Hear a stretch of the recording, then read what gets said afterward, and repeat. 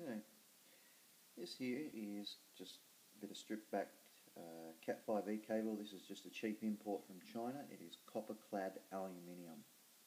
This is why you don't buy it.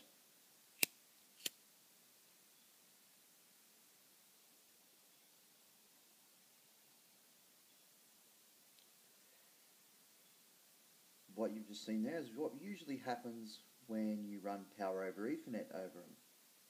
They're not very good. Now let's compare that to normal copper. This here is normal copper.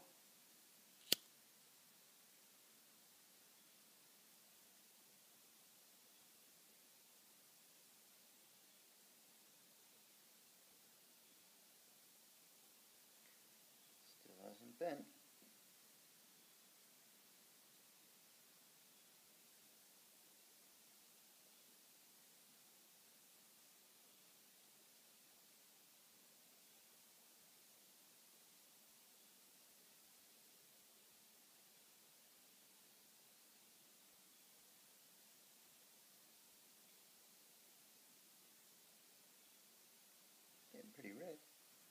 Oop, there goes the insulation.